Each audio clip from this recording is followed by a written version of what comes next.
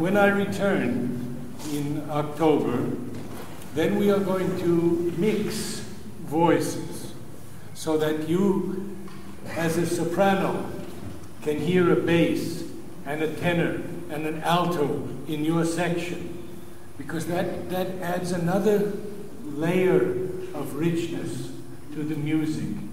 We have done it many times, and, and the great conductors understand this. Um, but this is good for our practice because we can do bass and tenor and alto and soprano. Easier for me sometimes. But um, I got this the other night, and I wanted to tell you it's just a little notebook. Um, in the coming months, on YouTube and the internet, on the website mother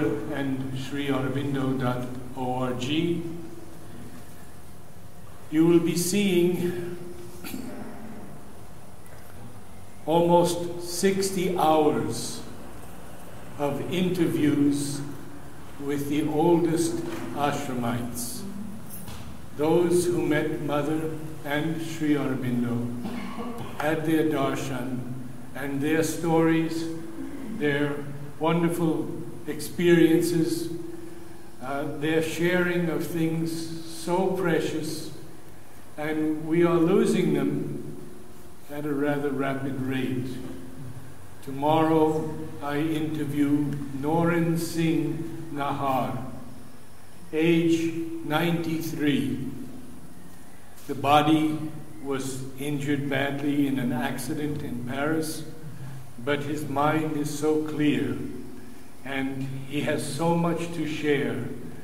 This week, I, it's just absolutely amazing in the last week or 10 days, Vasanti, Gautam, some of you will know these names, Aster Patel, Nirata, Noren Singh, Dr. Dalal this morning, and Dr. Dalal was wonderful, speaking about integral psychology and how Sri Aurobindo has made it possible for all the psychological areas to unite. Oh, he spoke uh, so sweetly. And the word is out, so many more ashramites will be interviewed on my return. But I wanted to read this to you from the mother. My children, we are united towards the same goal and for the same accomplishment, for a work unique and new that the divine grace has given us to accomplish. I hope that more and more you will understand the exceptional importance of this work and that you will sense in yourselves the sublime joy that the, that the accomplishment will give you. The divine force is with you. Feel its presence more and more, and be very careful never to betray it. Feel, wish, act that you may be new beings for the realization of a new world. And for this, my blessings shall be always with you, the mother. As mother has said, this that music is one of the best ways of opening the psychic being. I welcome you in my last home choir for some months, and I will tell you what I do here. And it's very simple. Very, very simple. I invoke the grace and presence of the divine. I call the Mother and Sri Aurobindo to bless each one of you,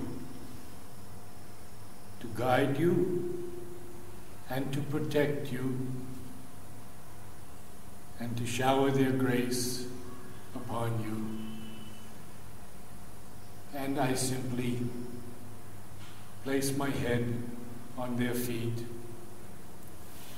and let the Om Choir open to that new music of transformation, eternal beauty, divine love, and force.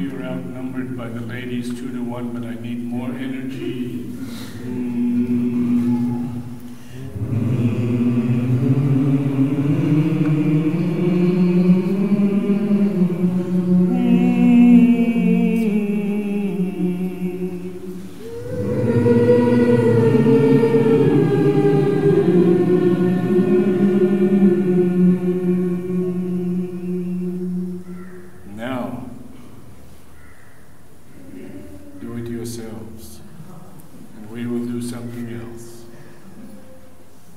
So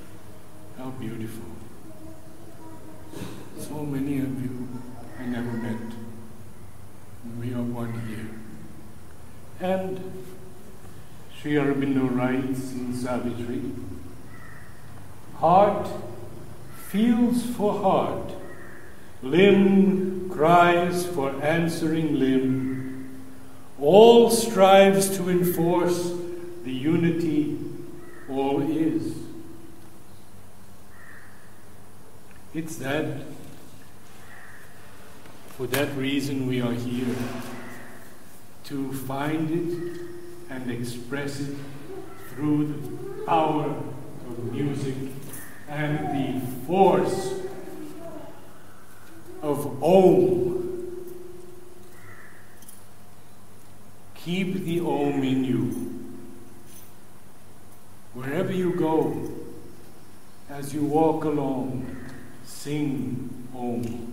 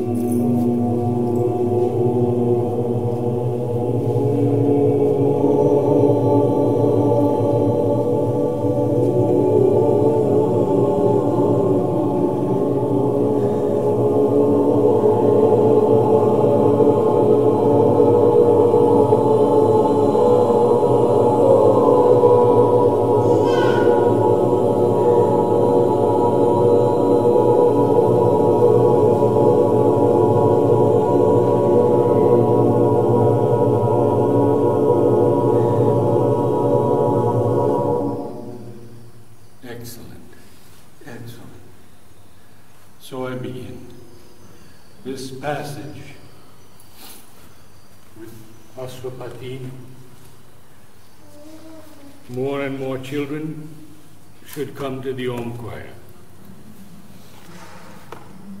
Their cries are also music.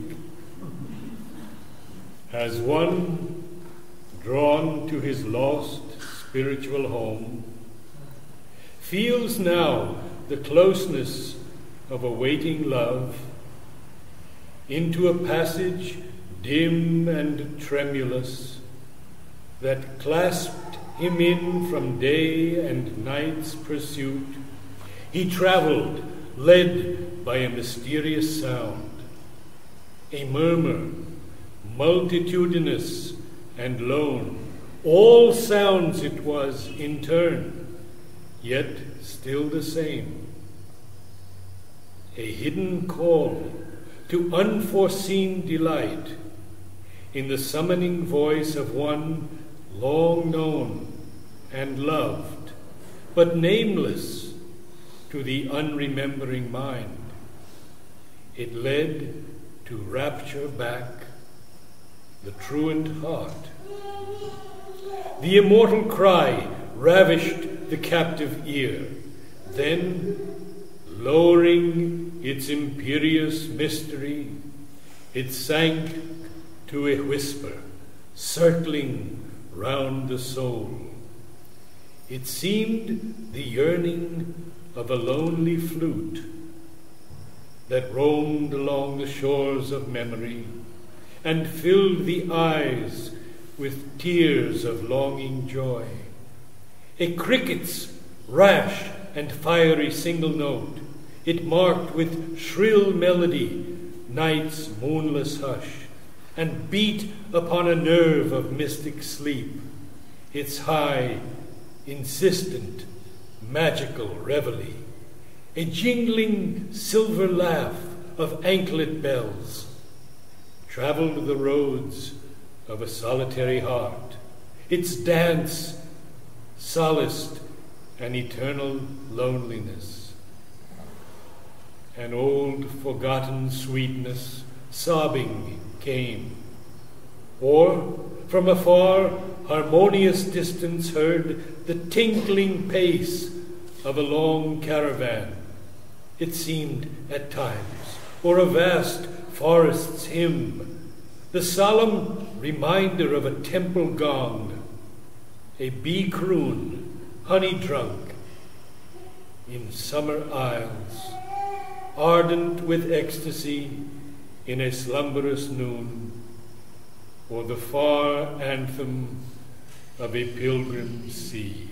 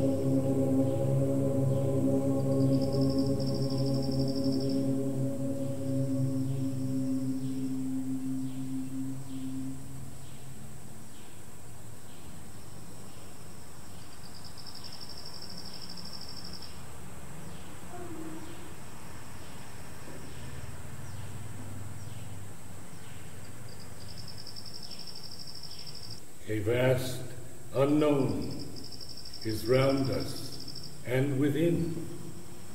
All things are wrapped in the dynamic one.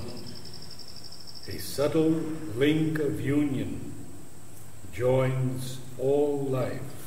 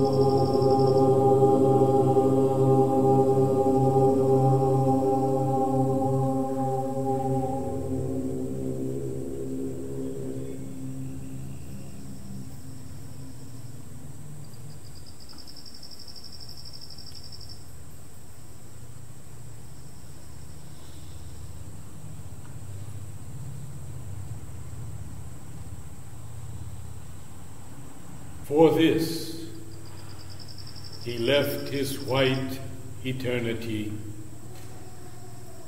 and laid on the Spirit the burden of the flesh, that Godhead's seed might flower in mindless space.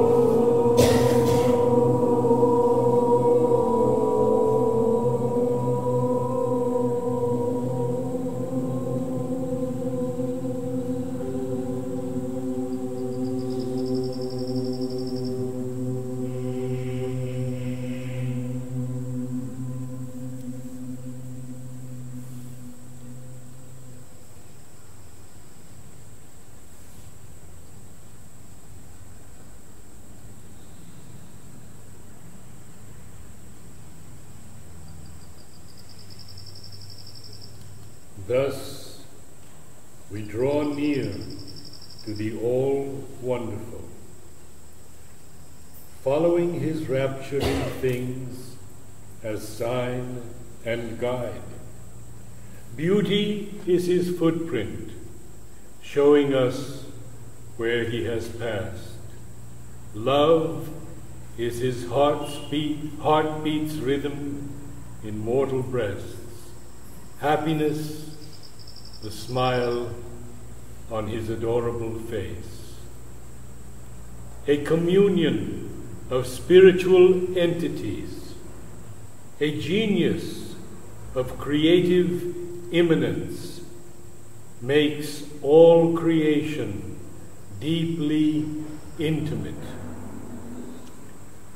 A fourth dimension of aesthetic sense where all is in ourselves, ourselves in all, to the cosmic wideness realigns our souls. I would ask in this last OM that we all invoke the divine blessings on each other. I am humbled and filled with gratitude for each of you, those who have just come, and those who have been here for many years together. I invoke their blessings on all of you and for this last OM Choir of my present stay.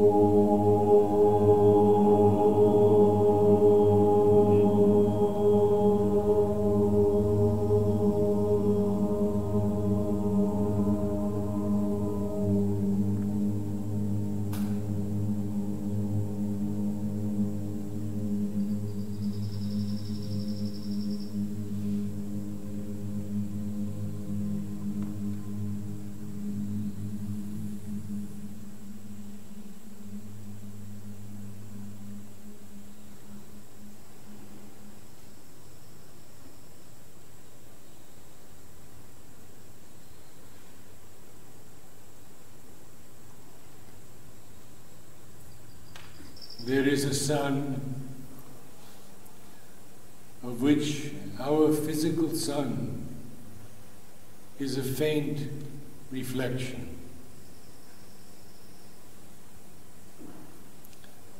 It is that which burns in each of us. First as a spark,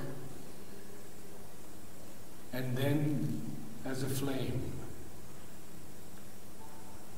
I pray, let the flame.